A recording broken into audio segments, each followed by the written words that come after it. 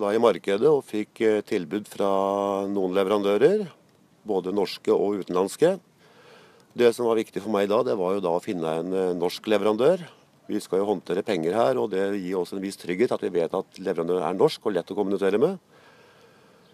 Det som også var veldig viktig, det er jo at funksjonaliteten var det vi etterspurte. Og ikke minst prisen på den anskaffelsen vi gjorde, og at driftskostnadene skulle være lave. Vårt valg falt da på No Cash Touch. Min erfaring med leveransen av No Cash Touch fra EBS, det var det at når vi skulle starte eh, installasjonen av automaten, så må den konfigureres opp i forhold til vårt behov. Der viser leverandøren seg veldig fleksible i forhold til bruk av logoer på de forskjellige produktene vi skulle etablere, og i forbindelse med montering av dette.